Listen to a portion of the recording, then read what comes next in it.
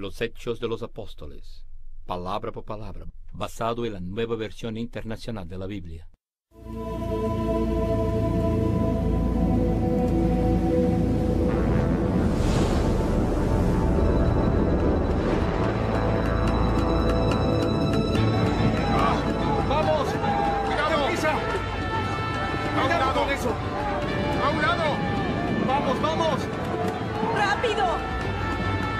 ¡Córranse! ¡Córranse! ¡Muévelo! ¡Cuidado! ¡Se está por cortar! ¡Que ya! ¡Cúbreme ese lado! ¡Cuidado! ¡Lo tengo! ¡Quítalo! ¡Quítalo! ¡Trae doctor! ¡Hay que salir de aquí! ¡Rápido, rápido! Ha habido un accidente. ¡Dense prisa!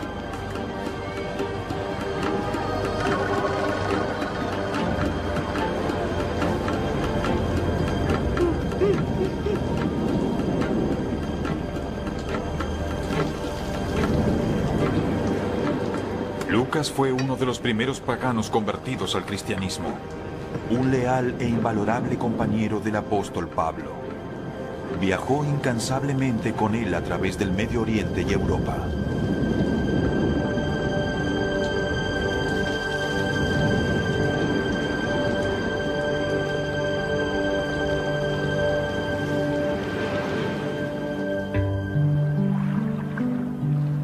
Los Hechos de los Apóstoles.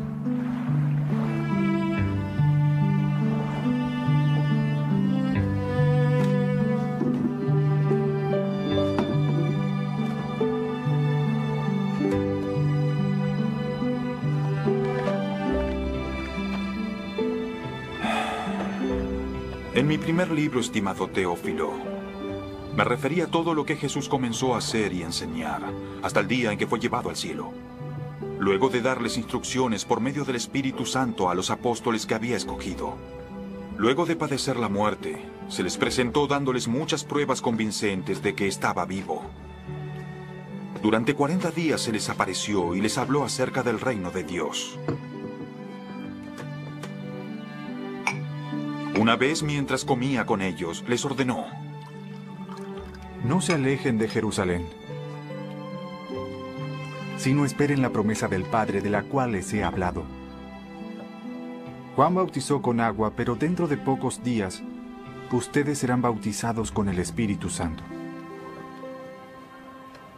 Entonces los que estaban reunidos con él le preguntaron. Señor, ¿es ahora cuando vas a restablecer el reino a Israel?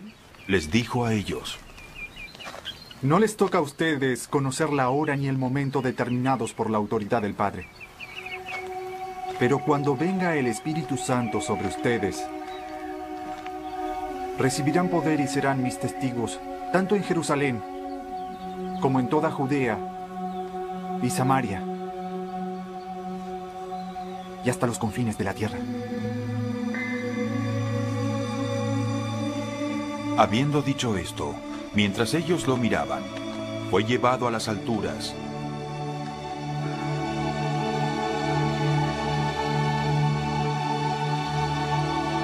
hasta que una nube lo ocultó de su vista. Ellos se quedaron mirando fijamente al cielo mientras él se alejaba. De pronto, se les acercaron dos hombres vestidos de blanco. Hombres de Galilea, Dijeron, ¿qué están haciendo aquí mirando el cielo? Este mismo Jesús, que ha sido llevado de entre ustedes al cielo, vendrá otra vez de la misma manera que lo han visto irse.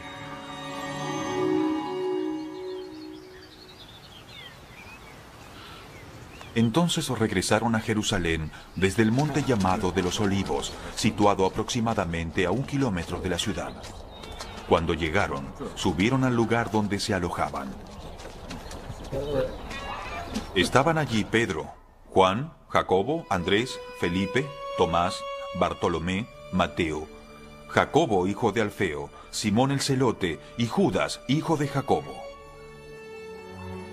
Todos en un mismo espíritu se dedicaban a la oración, junto con las mujeres y con los hermanos de Jesús y su madre María.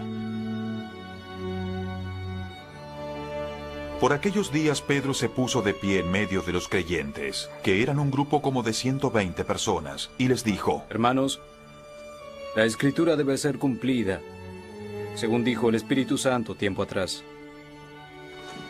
por la boca de David. En cuanto a Judas, el que sirvió de guía a los que arrestaron a Jesús, se contaba entre los nuestros y participaba en nuestro ministerio.